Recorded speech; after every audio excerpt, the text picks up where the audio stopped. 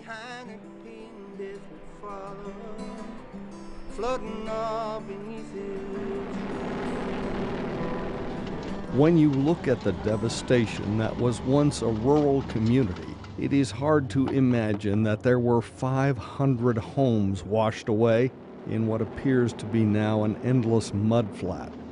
It's hard to imagine that a wall of cold, slurry water rampaged down this hollow in a matter of minutes on a Saturday morning. A late winter warm spell thawed the snowpack, then came two days of heavy rains. Two days before the dam burst, roads were closed due to high water in the area, and still the rains came. Then that slag dam that impounded the coal waste at the top of the hollow just came apart. Did anyone think it would ever happen? A survivor was asked that two days after the disaster. I've been thinking that for years, ever since they backed that water up in there. They backed it up there with slate, and I figured if it ever got up far enough to come over the top of it, just the least bit of it, I'd just keep eating down and went on out. Your family got out all right. I just, I don't know, I just wasn't, didn't have enough get up about me to move on out of this hall. The warnings came neighbor to neighbor after radio station WVOW broadcast the word that the dam had burst. One listener told announcer Marty Backus he heard the broadcast in time to move his family to higher ground. He said that he was listening to WVOW radio and that they received their warning about 30 minutes before the water came gushing through and they had time enough to take the family car and his seven children and wife up to uh, higher elevations. He said his house was moved approximately 100 to 150 feet, and uh, it was completely demolished.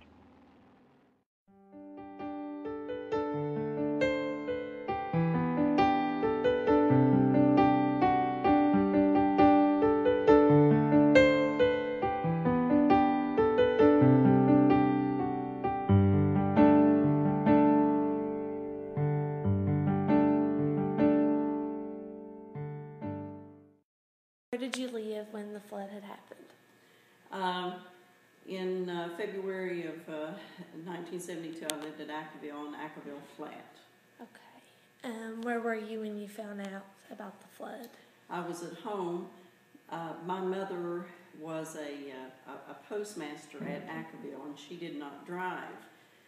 It was a Saturday morning. She had to work, so I, as any young person did at that time. I had the radio on, listening to the music, and the news came on. It was the Logan station, and the Logan station said that uh, the uh, creek was flooding. We knew that, but uh, then the Logan station said that there was uh, that the dam had burst up the head of the holler, and that people should be moving to higher ground.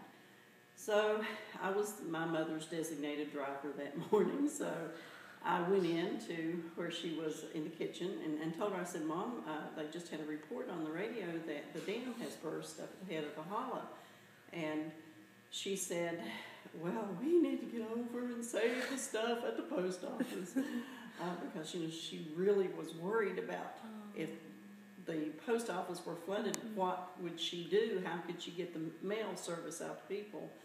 So we got in the car and we went off the hill and down in the little valley there to Accoville where the post office used to be.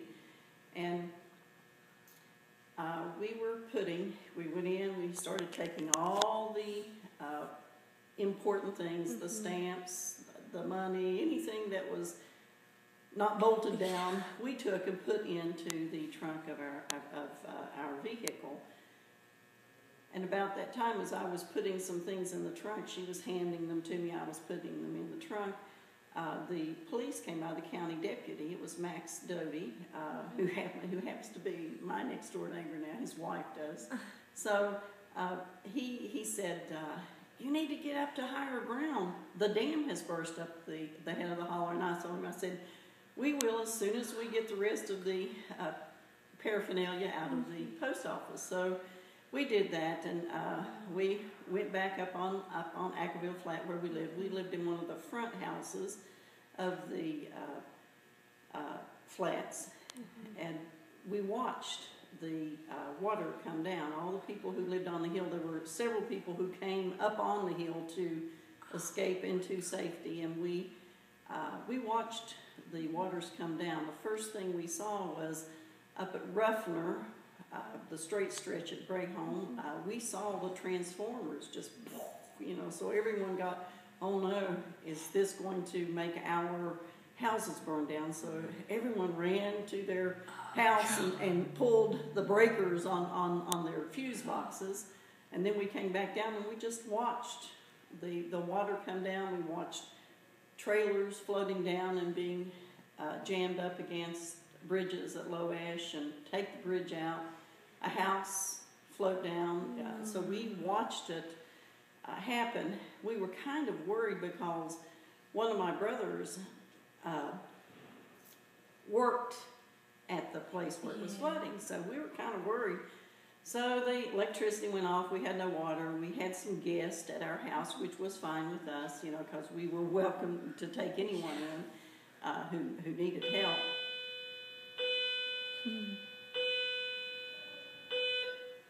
So we, uh, uh, about 11 o'clock that day, you know, we had no electricity, we had no water, and we were seeing, you know, it was devastation. Uh, and my brother, who had worked in the mines, he came down and he said um, uh, what he had seen, and uh, he said, uh, "Can anyone take me home?" Because he lived at. So I uh, took my brother home. There we dodged uh, cars and other pieces of metal and, and parts of houses as we went down the road. Uh, Kistler and, and uh, we got into Man. There was a lot of mud in Man, but we I went to uh, Mallory where he lived, took him home. His wife was very happy to see him, and I stopped at the supermarket on the way back and got some groceries. uh, so it was about uh, two o'clock when I uh, uh, started coming uh, back toward Man, and I got to where the stoplight is at Man. And there were deputies there. They weren't letting people back up the hollow. Well, fortunately, my brother in law was one of the deputies, and I said, Burhead, I've just taken Melvin home. Uh, please let me go back. So he let me through. So I made it back home, and uh, we, since we lived on the hill, we had no damage, but uh, we we were there. Uh, we saw the devastation. Uh, we worked the well. My mother worked the canteen uh, for the Salvation Army Mm-hmm. and the Red Cross. So, and I helped her with that. Oh, that's and, uh, interesting. uh, because they had a there were people had no food. You know, they had no place to go, and so, uh, So my uh, uh, we worked there at Accoville, where the where the post office used to be. It was gone. She got a commendation for saving the post office.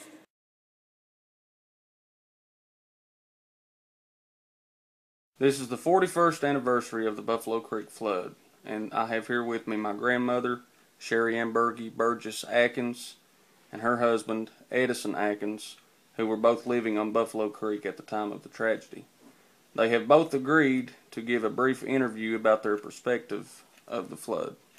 What can you tell me about the morning of February 26, 1972?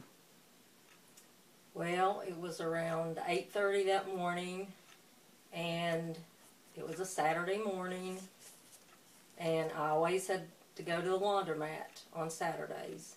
And your pawpaw, who's now deceased, had went to his mother's house. And while I was getting ready, and I had took your father up to my mom's. He was uh, 15 months old at the time. And your pawpaw came driving up the road real fast, yelling for all of us to go to the slate dump, that the dam had broke. And my mom, I still had small uh, brothers and sisters at home. My mom got all the kids, and um, I got your dad, and we all went up on the slate dump out from our house. And uh, by the time we got there, um, we could see the black water. And we saw mobile homes, we saw our neighbors' homes being washed away, and it was just a horrible sight. It had rained for days, and um, it was real cold that day and it was snowing a little bit. And we just stood there and watched. That's all we that's all we could do was just watch and feel helpless. 'Cause There was nothing we could do. How old were you at the time? Uh, I was 17. Okay, Edison, what can you tell me about the morning of the flood?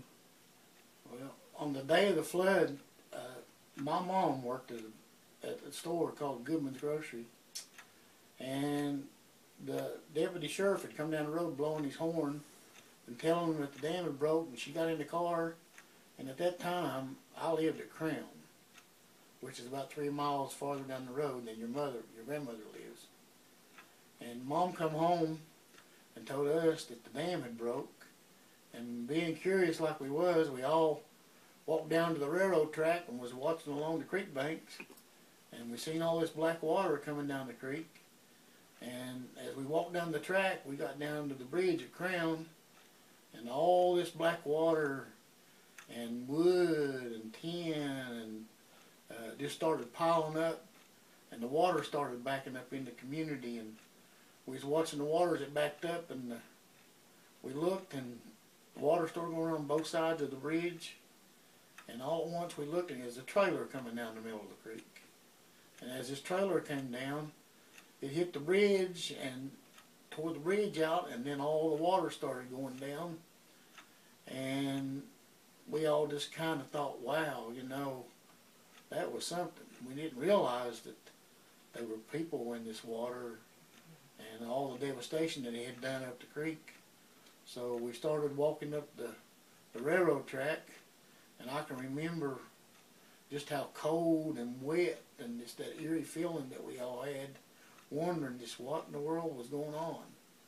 So as we walked up the track, in Crown, we walked by a church that belonged to Lance Caserta and his congregation, and there was an elderly man that was caught in part of a fence line there that had stripped all the clothes off of him, and we was just amazed to think at how they had done that.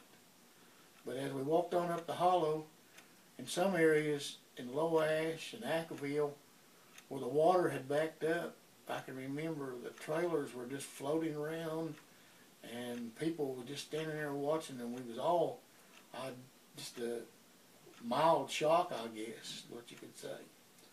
But my biggest memory was Dave was uh, just the thought of that man being in there, and then come to find out they had found a little girl uh, uh, in part of the fence line there too, and that just devastated me. And I, but that particular day, uh, just the the snow and the rain and how cold it was, and as I walked on up the road, uh, at all the bridges and the trestles, I seen remember seeing all the wood, the buildings that had hit the bridge and tore them up, and the wood was just stacked on top of each other, and where you could see where the water had went around and just wiped whole communities out, and uh, that particular day, just as I got home, we got home and we didn't think about, we didn't have no power, we didn't have no way to go anywhere because all the bridges were gone, and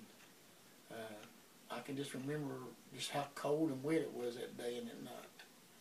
But uh, that's my main thought on the first day of the flood. How old were you at the time? I was 21 and uh, I was staying home with mom. I had been in Cleveland working and I had just come home and recently got a job in the coal mines. And that's something else that once uh, the next day or two after the flood, we had to make arrangements to try to get back and forth to work. And I can remember having to get permission to go up on top of Kelly and go to work and then have a permit to get back in to get home. And that's another thing that I can remember about the flood. I had to I had to walk a mile every morning just to catch a ride to work. And uh, but I was a whole lot luckier than a lot of other people was during that period of time. How did you find out that the dam had broken? The the way I found out was when your pawpaw came driving up the road. Um, when he left his mother's and drove up the road um, to come and get me to take me to the laundromat, he saw the wall of water coming around the curve um, up there where the carryout is now at Robinette. And he hurried and got all of us and took us up to the slate dump. Like I think I said earlier, is my mom was working at Goodman's Grocery at that time, and deputy sheriff by the name of Max Doty, which was my uncle's brother, was coming down the creek and blowing his horn and telling everybody to get to higher ground that the dam had broke. And my mom come home scared to death. She come in and grabbed us kids and told us, Lord, the youngins, the kids, the, the, the dam had broke. And, you know, not being able to comprehend something like that, just, we just couldn't believe that that had happened. Uh, you mentioned that you saw the black water uh, coming down the creek, um, and everything about the people, you know, the man being stripped and everything because of the water pressure. Uh, but what exactly did you see or hear? Uh, did you see houses or trailers, you know, coming down? Uh, did you hear screams and cries and, you know, what what Well- did you see? What, where we live that day, down in Crown, uh, if you will, the people were standing on the tracks, and we was watching the water race down the creek, and where it had washed the houses off, all this wood and debris just started damming up against the bridge, and the water started backing up, and people above us was screaming that the houses above us was starting to pick up off their foundations, and like I said, the only thing that saved Crown at that particular time was a big trailer come right down the middle of the creek and took the bridge out, and it just like it opened up like a drawbridge. And then I don't know if people can remember exactly, but the way this flood happened is like it went from one bridge to another bridge to a trestle, and that's where all this debris piled up at. But the only screaming and hollering I heard, heard of day was that uh, people was just oohing and awing because they just couldn't believe what they were seeing. And as I went on up the track, uh, the track, like I told you, I seen trailers floating around, and people, you know, was just uh, just talking who that belonged to or what that belonged to, or certain so and so's house had washed off. But the where I lived at, if you will, they we were farther down the creek, and we had more time to prepare uh, and get people to safety than we did uh, as people did further up the creek. Like your grandmother, your grandma here, were just what three or four miles from where the dam had broke. Well, the only thing that saved us on on this side of the road was the water came down Main Robinette, and the creek was over on the other side of, of where we live, and we saw houses washed off their foundations, trailers, and uh, the water all and the debris backed up uh, behind the railroad trestle across the, the road from us. And it kept building up and building up. And if the it finally broke the trestle and let everything flow on down or it it would have come over our way. And probably it wouldn't have affected where I lived because I lived farther up but it could have affected my aunt and uncles that lived closer down to the railroad track but it just seemed like the water went from one side to the other because of the bridges and the railroad trestles. What kind of thoughts were running through your mind as you were observing all of these tragic events? It's just unbelievable. It's just hard to visualize it. All that black water coming down through and all that debris and and at that particular time you just didn't think of all the devastation that it done.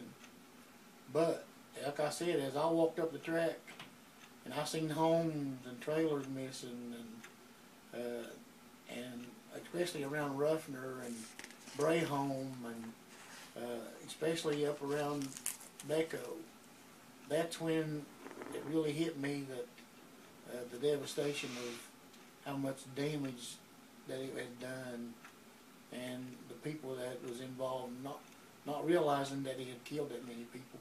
Well, as I watched the water from uh, standing on the slate dump, I had no idea that people were dying at that time.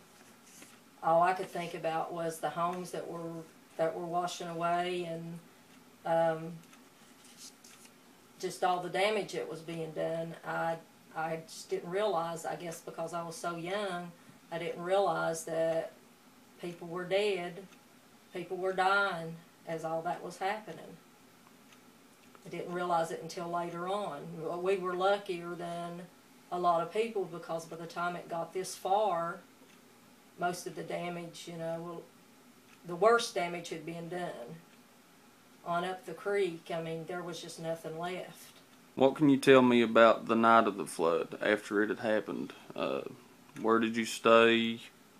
Uh, was it cold and dark? You know, just anything you can tell me about that night after the flood had happened. Well, to begin with, I didn't realize that particular time we was walking back to home and not realizing we didn't have no power, no telephone, no communications, and uh, all we done was uh, I'm trying to remember exactly.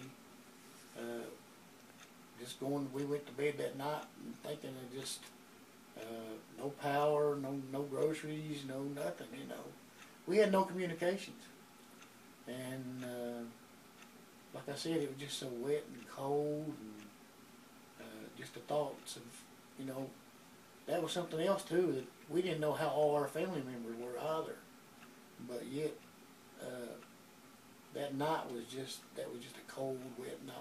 For me, what I remember is just the darkness and how quiet it was. You could step out on your porch, and where there used to be street lights, porch lights, you could hear traffic go by. There was nothing, no sound.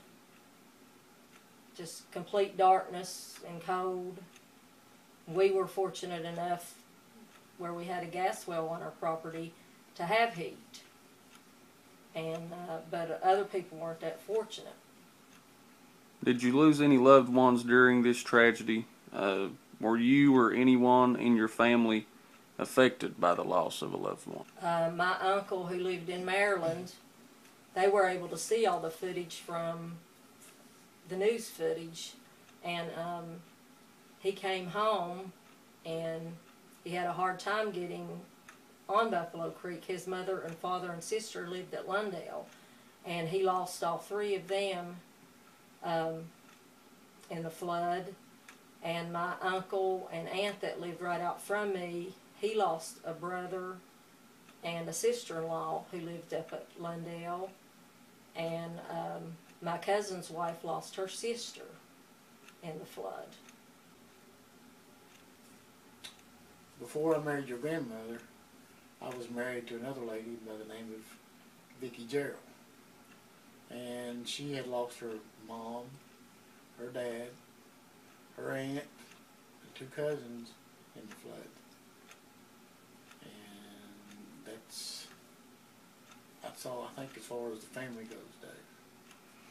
So Was uh, anybody in your family, uh, did they lose any of their property or uh, anything valuable to them? My grandmother and grandfather lived at Amherstdale at the time, and they lost their home, everything that they had. it was bad. So you say uh, communication was a problem? Yes, yeah. Like we didn't know what was going on. I mean, truthfully, uh, like like your grandmother said, uh, there was no cars on the road. There was no telephone communication. And remember, this was back in the seventies, and the telephone was about all we had back in those days. So it was just uh, word of mouth. Uh, if somebody told you certain so and so, you know what I'm saying. And it was like a week or so before uh, I even got lined out enough to go back to work. So it was some terrible times. And you had to have, um, they started, I don't remember how long after the flood, even to get out of Buffalo Creek to go to to a store. Uh, they had guards and you had to have a pass showing that you were a resident of Buffalo Creek, and you had to show that pass to get out of Buffalo Creek and then to come back into Buffalo Creek to get back home if you needed to go to the grocery store because all the stores up through here had been damaged. They weren't able to restock their supplies, and it was just it was hard to go anywhere. How did you react or respond uh, to this tragedy? Well, myself, like I said, it just uh, the day of the flood. The, the the more I walked up the railroad track and looked over into the communities, the farther up the road I went. And like I said, uh, uh, it was cold and gloomy that day, and just seeing, I knew a lot of people on this creek, and just seeing the devastation that I seen, just absolutely etched in my brain today. Uh, but I still didn't realize that the amount of people that had, had died that day.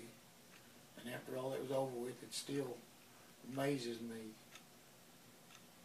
that that water done that much damage. It's something that we'll never forget. And we've I've tried to explain to your dad um, the way things used to be on Buffalo Creek, and he only remembers it the way it is now. But it's just something that that the ones of us that were here that experienced it will will never forget. Do you believe there was a purpose for the flood, uh, for all the tragic events that happened? If so, what purpose do you believe it held? A lot of people call it an act of God, but I don't. I don't think that. I don't believe that. What I've read, it, man caused it. Uh, everything I've read on the Buffalo Creek flood, but we didn't know it at that time though. Like I said, it just people just kept crying wolf and saying the dam's going to break, and and eventually it did. That's that was the problem. But now there's one thing I want to say that that this happened on a Saturday morning. Mm-hmm. If this would have happened on a school day, this could have been ten times worse Yes, than what it was. because it was about the time the, that all the little kids would have been out at the bus stops ready to catch the bus. So that's one, you know, that's one thing that was, Well, not only that, but you had the coal miners going to Yeah. work. It was a Saturday, and a lot of mines didn't work on Saturday. right. So, And then there was a lot of people up the road that probably never knew what hit them. They, they, they were probably still in bed asleep and never did even wake up. Has your life changed since the morning of February 26, 1972? If so, how? the only thing I can say that's changed for me really is, is uh, I always lived in the lower part of the Buffalo Creek area, and I always said that I would never live above Crown. And I've lived in Johnson Heights and Robinette for the last 30 some years, so I lied on that part. so, because uh, truthfully, uh, after the flood, uh, building the new road and the houses and the, uh, it changed everything here on Buffalo Creek, and it, it changed my way of thinking too. And uh, right now, it's just I think everybody's still healing from uh, the flood. I think it's something that none of us will ever forget. The ones of us that were here, that saw the devastation and experienced it. But um, as for me, I, I didn't lose anything, any didn't have any damage to a home or anything, and I've lived right here in this same area on this family property for 58 years, and I guess this is where I live till I die. But like Eddie said, you know, it's something we're never going to forget. Um, and there are people that were directly affected um, by the flood that that will be damaged from now on. They'll they'll just never never get over it. But things will never be the same as they were back then.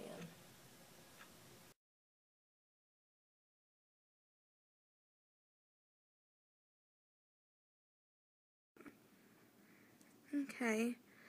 In your own words, tell me what happened on February 26, 1972.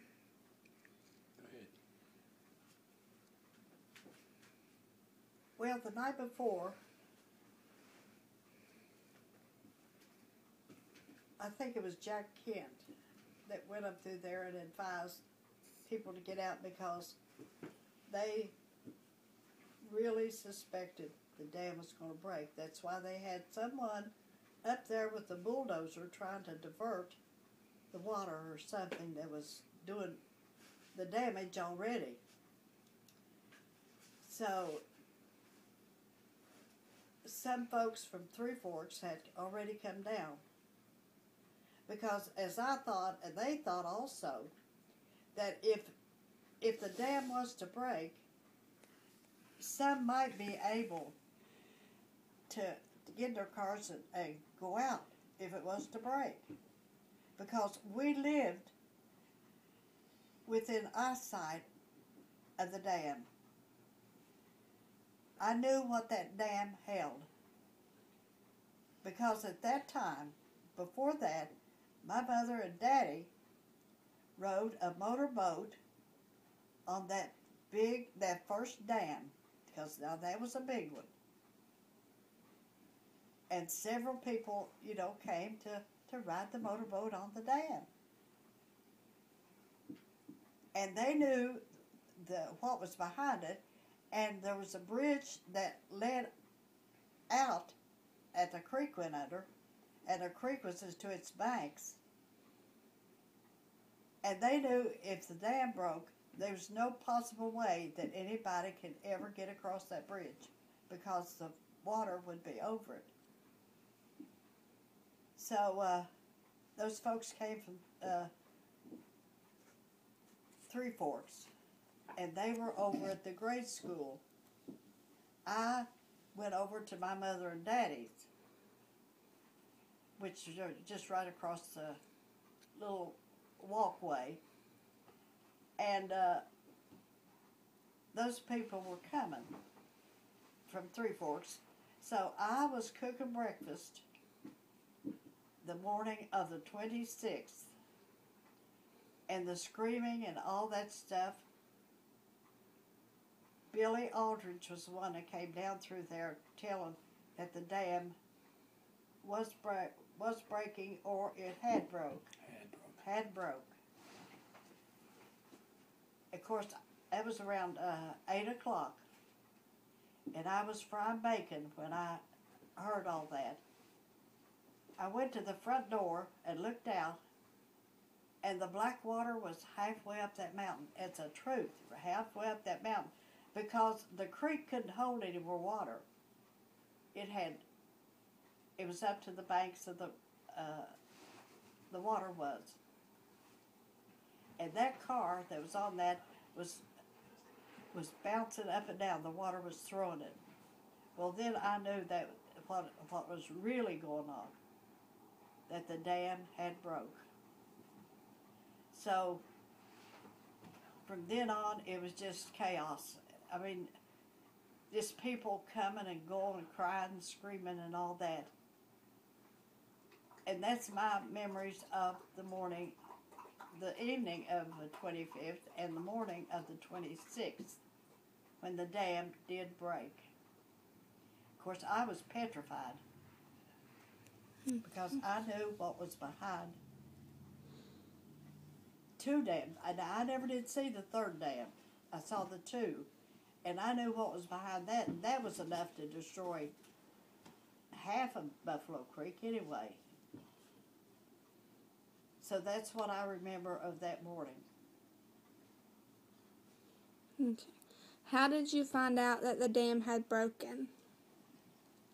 Well, uh, Billy Aldridge's one was tilted that came down through there, and, and the water, he, he made the comment to his wife that he was driving down the road just as fast as he could go, and looking out his back uh, car window, he could see the water following him. So that's how I found out. I mean, I I found out the 25th that they suspected that it was going to because the people were coming from Three Forks. After the dam broke, where did you go for safety? Well, I was over at uh, Mommy and Daddy's. What? After it Yeah, after it broke. Where did we go for safety? Huh? Where did we go for safety? Gene Cooks. Oh yeah, we went over to Gene because it was so cold. She had a big fire in a fireplace, and we went over to her house. What did snow on the ground? Yes, snow, snow. Yeah. what did you lose during the flood? Well, we lost. Oh, we lost. We lived uh, down from the school in a mobile home, and we lost the underpinning of our mobile home. And we lost. Uh, Mama Dog had had pups was under our house. I don't forget how many, but we lost the puppies. Where did you stay during the cleanup of the flood? We stayed in our home over at uh, where we lived. It was it was across the road from my mother and daddy's.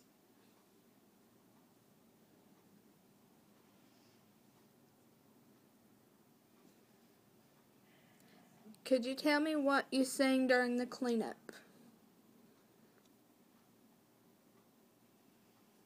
Many a nights in the water. Huh? The many a nights in the water. Oh yeah. I said many times, I wish I was young enough to spend a whole year with those folks because they came in here, and it was just it was just wonderful to watch them how they worked, and it was just um, they were just wonderful people. Does this tragedy still have an effect on you today? I have to. I have to say, it's not a. I don't think a bad effect on me. I think if if I had to do it over, because in '63, that water came out because I had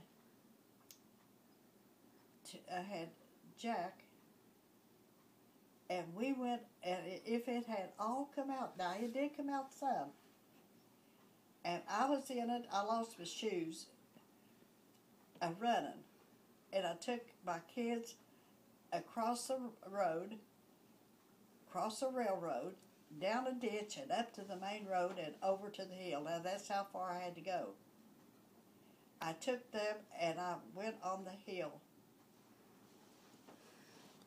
Do you ever imagine that there could ever be a tragedy on Buffalo Creek comparable to the flood again? I don't think so. What I wanted to say before the last time, the last thing was asked, I think, in one respect, it had a, a a positive effect on me because I determined in my heart that if anything ever started like that again, because this dam had a start, it had a beginning, and people said, and they would say to me when I took that petition around, I'm afraid they'll put so much pressure on my husband that he'll finally be fired. If I sign this petition to make them go and do the right thing, the right way, and get that water out there. Because there was a man came from Charleston after that dam broke, and he said, no, it was before because he went, Bill Woodrum took him back on the hill to look where the dam was. Now that, the third dam was added after that, after 63. That man told Bill Woodrum, he said, now this is a remark he made. I don't care if they had to take a, take that water out in teaspoons. That water has to go. That's when we started with the petition. And people would not sign it. To get that started, to make them move that water. And I determined right to, uh, after the flood that if that ever happened again, I would, I don't want to, how I would do it, but somewhere or another, I would help that man that wanted it moved out of the, off of the creek. He wanted to move, but he didn't have the help and the backing.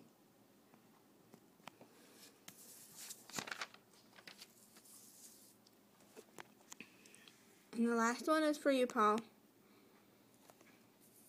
It was said that you never thought the dam would break. Why did you believe that? Because the day before I was on it. When it did break, what was going through your mind? Run. Well, thank you guys for your time.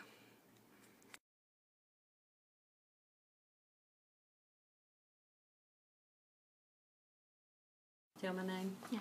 Okay. My name is Marie Kaysen, and my husband's name is Leon, and we lived at Latrobe, across from the Boy Scout camp. I could look up the creek and see Andrew Johnson's house and the swimming pool. The, that morning would be and was my last view of this scene. What I remember about the Buffalo Creek flood of 1972, it had rained hard all night. I was up early because I was going to Huntington, Marshall University. Uh, the evening before, I had purchased a TV for my daughter, and it was sort of early, around 7. My son Michael had gotten up and was wanting to play with the TV, so I made him go back to bed. I decided to go back also. Dozing off, I heard a knock at my door. My husband got up and answered it. A small, childlike voice said to him, They said the dam had broke. And she went back to a car to get in a car that was waiting for her. My husband quickly called Junior Leon, who's 12 years old, and he ran out to our garage and backed out our Tempest. And as he backed out and away from the garage, it collapsed. My husband had moved our truck outside the yard. In the meantime, I jumped out of bed and looked up the creek. I saw a house moving down the creek. It had not reached the Scout Camp Bridge yet. And I ran to Cindy's room and grabbed a coat in the closet and grabbed and she grabbed her dog Missy. She and I and Michael ran out to the car and got in. Junior Leon was already there, waiting in the car.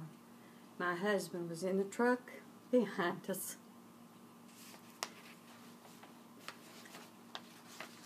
As he drove out, the water was on his back bumper. Passing the Sykes house, they were running toward the road, and they had to go on across the railroad tracks. The Ramies were on their porch, and later we learned they did not make it. As we drove down the road, we could see objects spinning in the water. We were driving pretty fast. And when we got to Robinette, I stopped at my sister's house to warn them, and she gave me a pair of her husband's house slippers. Later, we met at the Robinette Church of God. As the water moved and gaining speed, the houses in Robinette looked like they were bumping into one another. And then the railroad crossing exploded. The rails just popped up and curled up. And then we saw a trailer with a family in it going by. We could see someone at the windows, but what could we do? We were helpless. I do not want to ever forget the little girl who risked her life to warn us. Her name was Dreama Bragg, daughter of Margaret and Valentine Bragg. I think she was about four years old. The next day we went back to our home and it was still standing but flooded.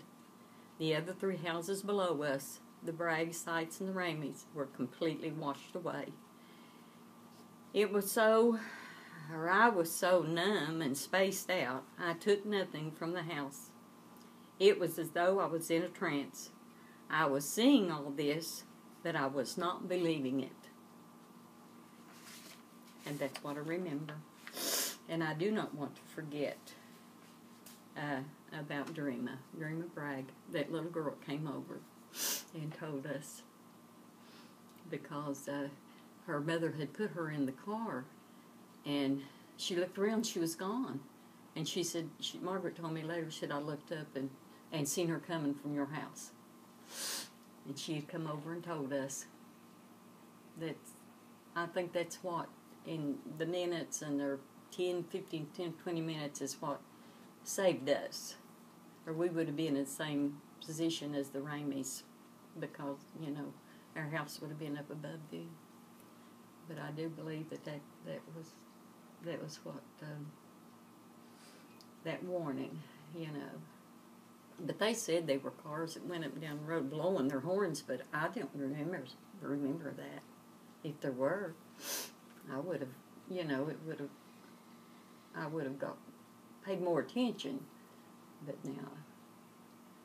But that was the warning that we got. Someone had called them and told them that, you know, that that dam had broke, and they were getting ready to leave, but the little girl came to my house. Name was Dreama Bragg. So I don't know if any other people remembers as much, but it's vivid and you won't forget it ever, ever. Up, I looked out my window, my bedroom window, go, looked straight up the creek, and uh, there's that big house, you know, coming up. Oh, that's when we really had to move. We had to get out of there. And I thank God He spared us. He had reasons to spare us, you know, raise our children, our family. And I think He's been so good to me. So you know, just um, one thing after another. We were standing up on that hill, and that trailer went by with those people in it. I can't, I cannot think of their names. I don't know if it's Gullet, Gullets or not. Gullet. I'm not sure what his name was, but I know the the, the, the girl was an Elkins, had married him. They, I think they had two children. That was so sad. But life and experiences and things, you know, people have survived. But we can't forget when something like that happens, it can happen again. If, uh, you know, the government doesn't um, take care of knowing where all these these mines or whatever any kind of water doesn't matter that can dam up and, and break loose it's a threat.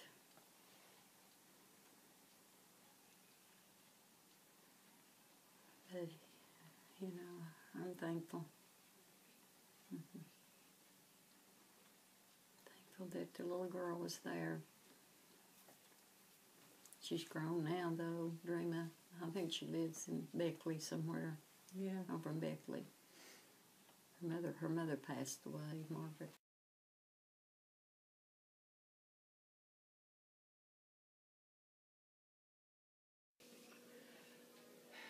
Good afternoon, boys and girls. My name is Gertie Moore, grandmother of Courtney Agins, Jason Michael Rowe, and an ex-bus driver of this school for 29 years and a lifelong resident of Buffalo Creek. I'm 72 years old and I've lived two lives. One before the Buffalo Creek flood, 72.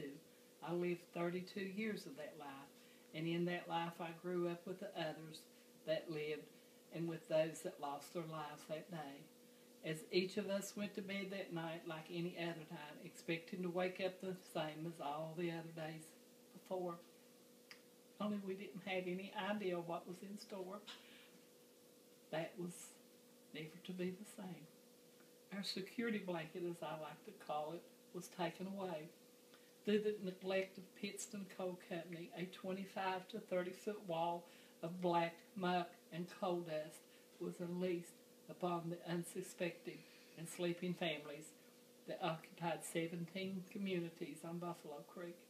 Men, women, children, mothers, fathers, family members, and babies met their untimely death. Try to imagine, if you can, sleeping comfortably in your beds, dreaming sweet dreams as you do now, to be awakened by noise that you can't identify, screaming from those who are trying to save themselves, and yes, this, so they could save their loved ones, only to have the cold black water or a piece of debris to savagely jerk your children, knowing no one can hear you or cannot get to you and your loved ones from trying to save themselves and their own. Yes, we went to bed with one life and woke up with another. I was blessed to have known about 80% of the people that lost their lives. If I could see a car, I would know who was driving it. If I needed to call someone from memory, I knew most of the phone numbers. Our community and church members were our families. That day I felt like an orphan. Though I never lost any blood family, my husband, Tom Sr., lost 23 members of his family. The first day of the rest of my life was spent trying to help and make sense of what had happened that day. Our inner strength came through. God was our refuge and our haven. One day at a time, we all pulled together, determined not to let this uh, tear us apart. We are strong, resilient, and depended on God and each other for our survival. We had to learn a whole new set of cars, friends, and phone numbers. The coal company said it was an act of God. It was not God's will for that to happen. Man built that dam. It truly was the will of man, love, and greed of money. It's been 41 years since that terrible day, and when I think or talk of my life before, my heart is still in pain. The day I'll forget is when they lay me to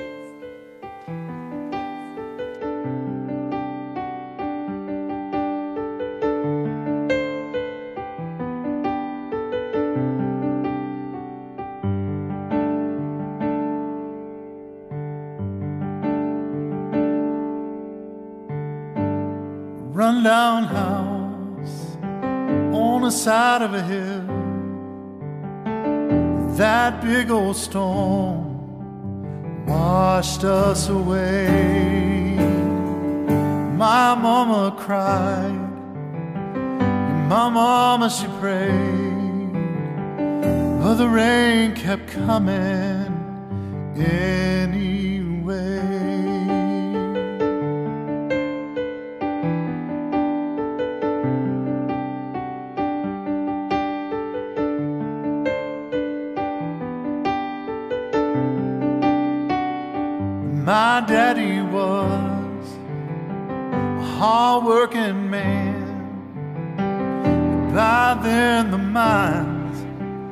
Crippled his hands on a welfare line with four children to feed. If that big old storm just washed us away. And the rain fell hard, and the dams all broke, and a surge of muddy water came on crashing through. Ellie lost her daughter, Adie lost her son, in the mining flood of 72.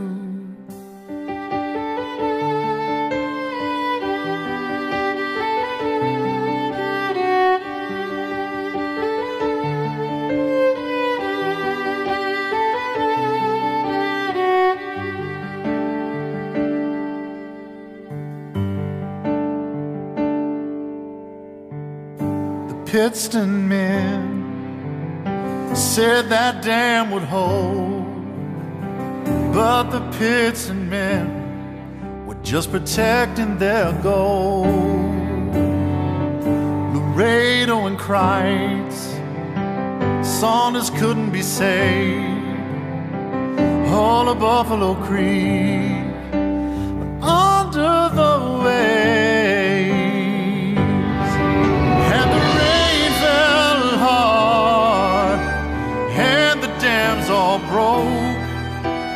surge of muddy water it came on crashing through.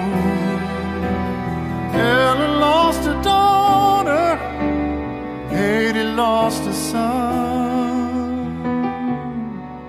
in the mining flood of 72. And underneath the rushing water, people went to early graves. The flood of 72.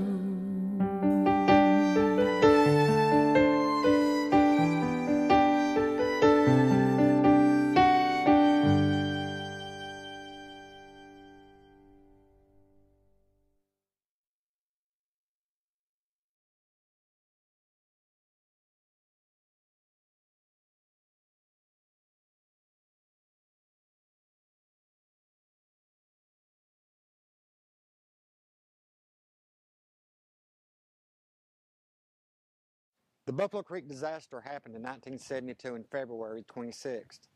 A coal mining dam broke loose. It was a wave of water like you'd see in a tsunami. Come down through the valley, right up through there. And it come down through it, it just, it pushed and destroyed everything in its path. The world we knew was gone in a matter of minutes.